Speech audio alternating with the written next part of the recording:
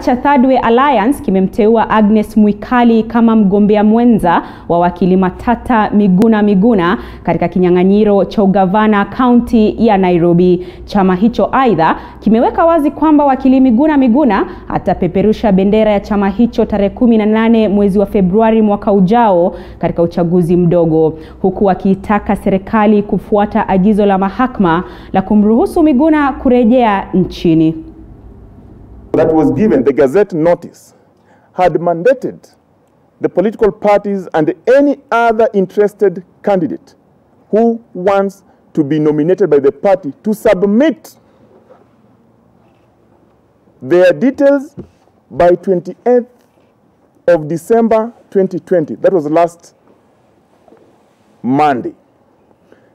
As at midnight that day, Third Way Alliance Kenya had only received one application for the gubernatorial by-election in Nairobi, and that person was General Dr. Miguna Miguna. And uh, as you have seen, even the president of this country had gone to the barracks to look for a general to run this county. Now we have a general in the party, and we have answered to his call. We have answered to his call. We have brought in a general now, a civilian general who understands the needs of the people of Nairobi. Uh, we will be able to turn around this town to be what it used to be, the green city in the sun. that I stand here today to accept my nomination as a running mate to Dr. Miguna Miguna for the up uh, uh, for the upcoming gubernatorial by elections in Nairobi.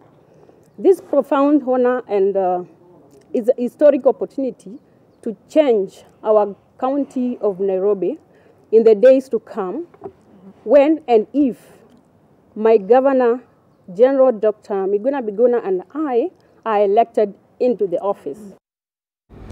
Na kwingineko